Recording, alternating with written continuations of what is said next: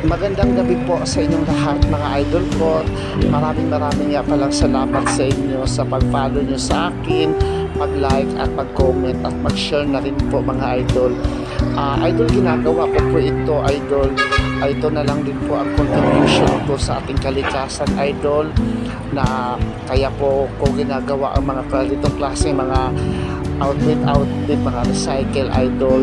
Upang kahit paano idol makatulong po ako sa ating kalikasan idol.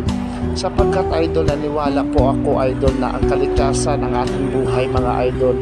Kaya dapat po natin itong pahalagahan pangalagaan. At kung maaari lang po idol, uh, ko pong ipahatid sa inyo idol na mag-segregate kayo ng mga basura properly.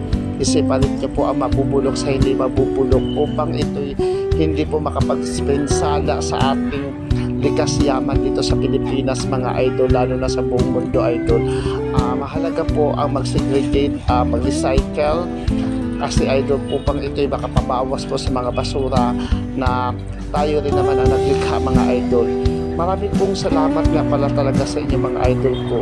Nandyan kayo palagi sa akin upang tugunan, suportahan ang aking mga ginagawa, ang aking mga layunin, ang aking advokasya sa ating kalikasan mga idol.